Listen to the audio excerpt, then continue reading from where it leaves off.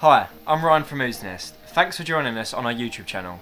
In today's video I'm going to be going over our new enclosures that we've got for the WorkBee CNC machine. Our WorkBee CNC machine enclosures have all been designed in-house by us and the team. We've cut all the extrusions, assembled all the parts, got the nuts and bolts ready.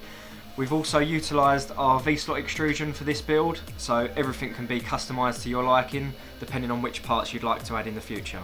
The kits for your enclosure will be available on the website. Here you'll be able to select what size you require. So we're going to offer this kit in a 750-750 size, a 750,000 and a 1000,000. So you'll receive all the extrusions, nuts and bolts you need to get going. The only thing that we're not supplying is the Perspex, this is due to shipping.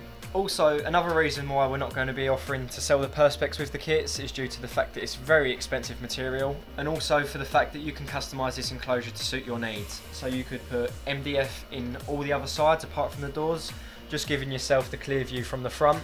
We've done it this way just simply because it looks very nice and we're going to be doing a show soon at the NEC in Birmingham, so give everyone the chance just to walk around the machine and get a view from all angles of the machine while it's running. To assemble the enclosure, you're going to need quite a big open space to do so. They're not too bad once they're together, but you need quite a wide bit of area just to lay out all the components and prepare it in each individual stage of the build.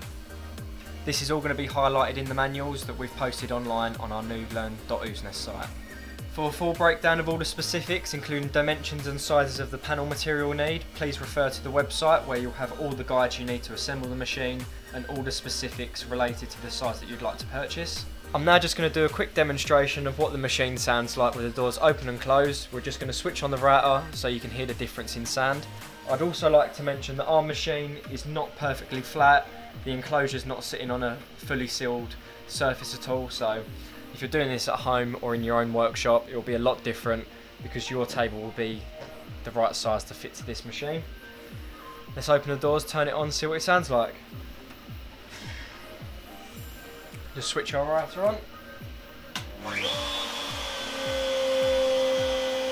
You, can hear the sand. Just shut the doors.